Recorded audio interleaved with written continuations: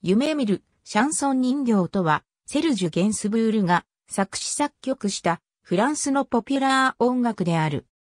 フランスギャルが最初に歌い、1965年にルクセンブルク代表として第10回ユーロビジョンソングコンテストでグランプリを獲得したのをきっかけに、この歌は大ヒットしヨーロッパだけでなく、中南米や日本でも人気を博した。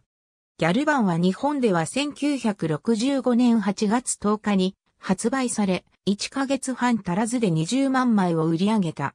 ビートルズやエレキブームの最中に大いに気を吐いた。ギャルは岩谷時子のわけによる日本語の歌詞で本作を録音し、日本でシングルと EP 版を発売し、またドイツ語やイタリア語、スペイン語の歌詞でも歌っている。他にも数多くの言語やアーティストによるカバーが存在する。ベートーベン作曲のピアノソナタ第1番第4、楽章プレスティッシモから旋律の一部が取られている。この歌のタイトルは、ローと音の人形と訳されることが多い。フランス語では、前置での後ろに物質名詞が漢詞なしで置かれる場合、で名詞は素材、材料を表す修飾句となるのが普通である。よって、前半のプーペでシーグは、まさに、ローを材料とする人形、ロー人形の意味であるが、後半のプーペで3は、通常、音を材料とする人形と解するわけにはいかず、また、音の人形、音の鳴る人形という意味にはならない。音の人形という意味にするならば、3に漢詞をつける必要があり、つまり、プーペジュ3であるが、実際のこの歌の題は、漢詞なしのプーペで3であるのでこの場合、3は音ではなく、同音異義語のぬか、もみ殻、広くは、木くずをも意味する。つまり、後半のプーペで3は、詰め物をした人形のことである。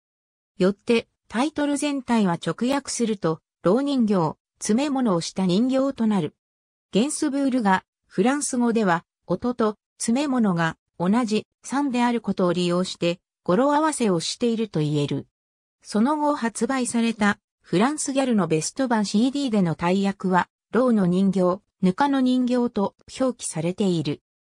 ギャルのシングル版が日本で初めて発売された時に大役を担当した鎌田浩二はプーペで3を音を出す人形と訳したが、すり上がった歌詞カードには、襖を詰めた人形と差し替えられていたため、アイドルがこんな歌詞を歌うのは、当時のレコード会社にとって常識外だったのだろうと解釈した。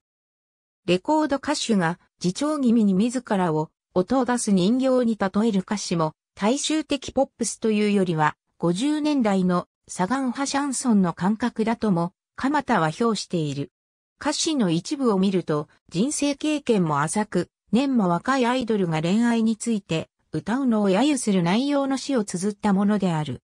ギャルに与えた歌におけるゲンズブールの作詞を詳しく考察すると、他にも皮肉や嫌味が入っている歌があり、時としてそれは悪意の領域にまで達している。1966年に同じくゲンスブールがギャルに提供したレスーセッツが著しい。後年、ギャルは1960年代では、老人形、詰め物人形の歌詞やタイトルに込められていた二重の意味に気づかなかったと述べ、後年は本作より距離を置き、歌うこともなくなったという。